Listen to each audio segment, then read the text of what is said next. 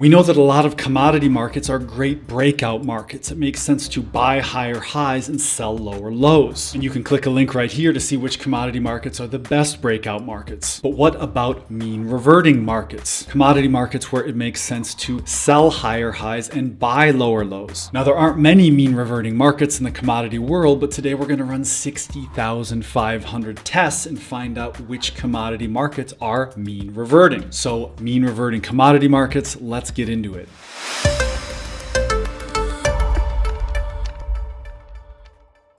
Hi everyone, it's Dave Whitcomb from Peak Trading Research in Geneva, Switzerland. My goal is to make you a more profitable trader with commodity market insights and real systematic trading strategies. And today we're going to be building and testing a mean reversion strategy. We're going to start with the same code from our breakout strategy video and instead of buying higher highs and selling short lower lows, we are going to be selling short higher highs and buying lower lows. So what this simple strategy does is it's looking for markets that revert to the mean. It's looking for markets that trade in a sideways channel. Now, using our AlgoLab tool at peakalgo.com, we can test our length input from a value of 1 to 50. So if we were looking at daily bars, we'd be testing from 10 days to 50 days. We can use a stop loss from $1,000 to $5,000 per contract, and we can test our bar value from 10 to 50 days. That's 125 parameter combinations tested across 44 different futures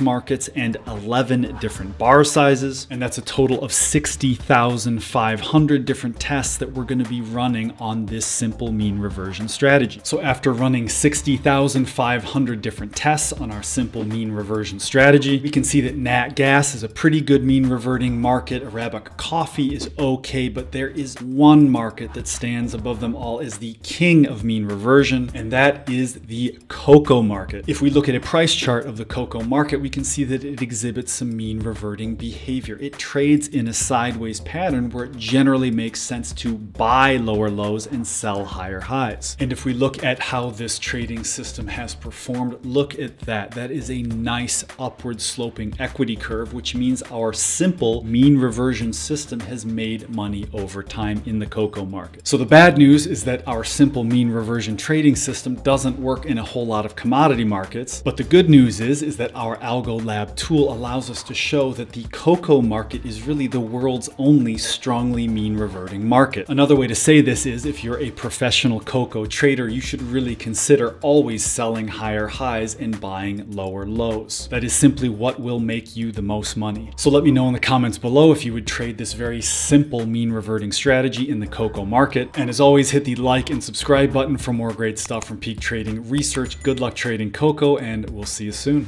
Thank you.